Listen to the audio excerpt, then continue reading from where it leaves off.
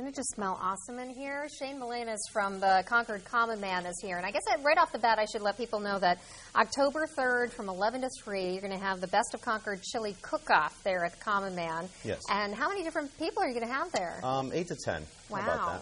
How about that? And it's a, a donation for... Yep, it's a $5 donation for the Payson Center uh, for cancer treatment at Concord Hospital. Awesome. This smells great. So what do you have in here right now? Right now, I started off with a little bit of smoke oil and uh, some regular oil, and I'm sauteing up some uh, onions and red peppers, uh, browning up some burger, and I just added a little bit of garlic to it right now. And those you just kind of cook for about 15 minutes, trying to get the flavors all together. Now, are you in favor of the big spicy chili, the chili Not with a kick? really. This spice, this chili isn't that spicy. It's more like a smoky, sweet chili Yeah. more than anything else. And it has a little kick in the end, and that's due to the chipotle peppers that we add to it, All right. um, which is wonderful.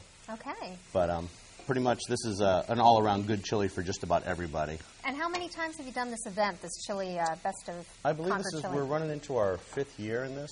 Uh, perhaps it may be six actually. So it's been uh, very successful in the past. It's right in our parking lot actually. So we basically just open it up, throw some tents down, and everyone just goes out there and competes. Oh, wonderful. And so you put the uh, chipotle in there. Yeah, the chipotle and the spices to it. Um, What cook spices those do up you add for to your five chili? minutes or so.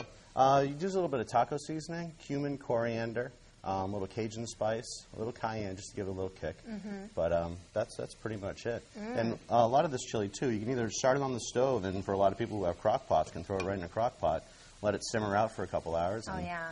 just let it come down Really and really enjoy it. and it becomes nice. very simple. Yeah. And you add black beans to yours. Absolutely. You can leave the beans out for there's a lot of people who aren't bean fans. So uh, you can take the beans out, Mm-hmm. or you can add them in, and any type of bean that you want to do, white beans, pinto beans, things like that. And the sauce, the tomato sauce as Um, well. Tomato. This is uh, tomatoes, tomato juice, and uh, a little bit of barbecue sauce to add the sweetness to it. Oh, wow. Well, it's great. And again, October 3rd from 11 to 3 at the Common Man there in Concord. You can taste test all kinds of chili. Thanks for coming in, Thank Shane. We very much. appreciate it. We'll be right back.